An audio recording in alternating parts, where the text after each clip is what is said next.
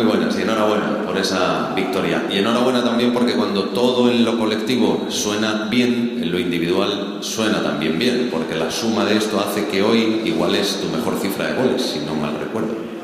Buenas noches y muchas gracias. Sí, eh, he igualado hoy la, cifra, bueno, mi mejor cifra en segunda división y muy contento, ya no por la cifra, sino porque hoy se ha visto al Albacete que, que hacía falta, el Albacete de toda la temporada creo que lo habíamos perdido un poco en, en los últimos cuatro o cinco partidos y, hoy se ha visto, hoy se ha visto ese Albacete con ganas, con, con emoción, como dice el míster, con, con, con esa intensidad y, y, muy contento.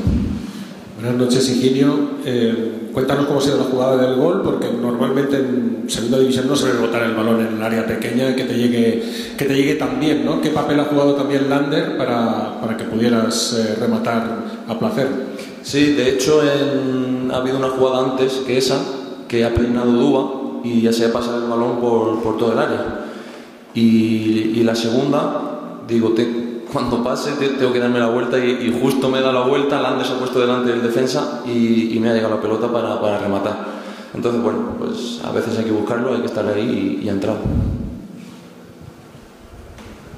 Qué importante era recuperar la confianza por todo y sobre todo pues eh, por si alguien tenía alguna duda de lo muchísimo que está haciendo este equipo, pues también que se vaya esta noche con la duda despejada, ¿no? Pero qué alegría por ver futbolistas como por ejemplo Juanma, que lo decía anteriormente el entrenador, que lo había pasado mal, que hoy lo colocan en una situación más vigilante que atacante y fíjate, es capaz de hacer dos goles, ¿no?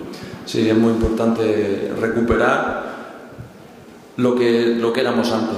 Eh, cuando hemos venido en el autobús, eh, o sea, esa energía de la gente, que parece que no, pero dentro del autobús, escuchar los golpes, eh, las bengalas, eh, te, te, te, inyecta una, una adrenalina que, que, que, es increíble. Y, y, Juanma pues, ha hecho un partido, pues ya lo habéis visto. Si no hubiese marcado los dos goles, creo que no se hubiese visto tanto, pero los que entienden de esto sí, sí lo hubiesen visto. Ha hecho un tremendo partidazo. O sea, estaba defendiendo a Tejero, bajando a línea de fondo y luego ha marcado goles. Es que ha sido, ha sido increíble. Se lo ha pedido el míster, lo ha cumplido de 10 y, y ahí está.